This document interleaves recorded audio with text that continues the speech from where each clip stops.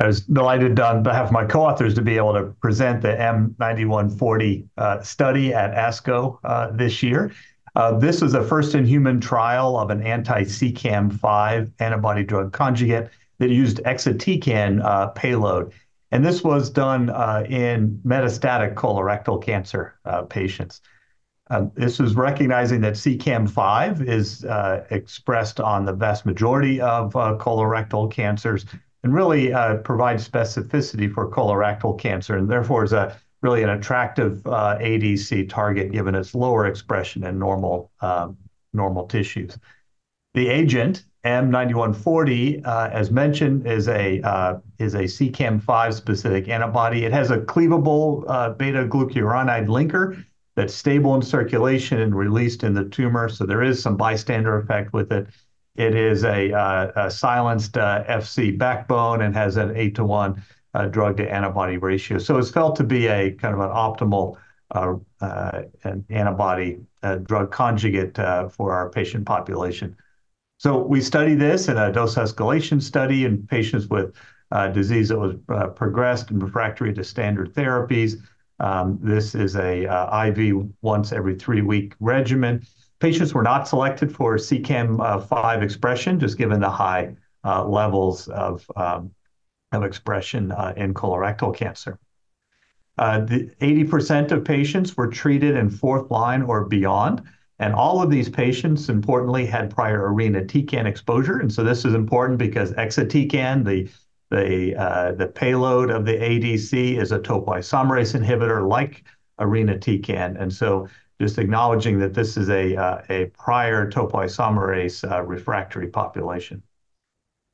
Um, the dose-limiting toxicities were uh, predominantly hematologic at the higher levels. And the encouragingly, there were no um, events of ocular toxicity or interstitial lung disease, which are toxicities that have been seen with ADCs and can be problematic in the clinic.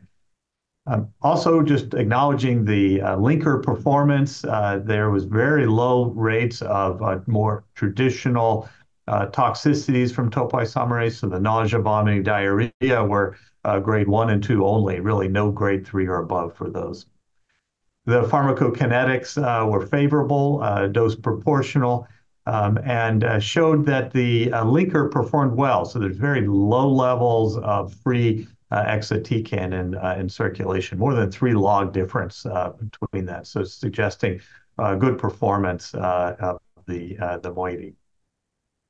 The response data show that of the of the patients that were uh that were treated on the, there's 40 patients that were enrolled. Um, we had dose reductions in 4 patient. I'm sorry, tumor reductions in 4 patients. Uh, an additional uh, patient was seen even after the data cutoff um, and had a very good uh, disease control rate um, as well. And this uh the this activity was seen across all the uh the different um, expression levels of CEACAM5, really reflecting, as mentioned, that this expression is high in colorectal cancer. Encouragingly, uh, the duration of uh, treatment uh, was favorable, and we had about a quarter of patients who stayed on treatment for 6 months um, at the active dose levels of 2.4 or above. And the median progression-free survival, all comers, was 6.6 months, which is certainly very encouraging for patients with fourth line and beyond disease. And this was higher for those treated at the uh at the doses of 2.4 or above compared to those uh, under. So we're encouraged uh, by this uh, this phase I study, really demonstrated manageable predictive safety toxicity, really no interstitial lung disease, no ocular toxicities, low GI toxicity. The MTD was declared as 2.8, and both the 2.4 mg per kg and the 2.8 will be selected for ongoing uh, randomized dose optimization. But based on the uh, doses uh, received at 2.4 and above, we had a disease control rate of 70%, progression-free survival in that cohort of 6.7 months. So, really the sense that there indeed is clinical activity, Uh, both as monotherapy and combinations are uh, continuing in the expansion of the study as well.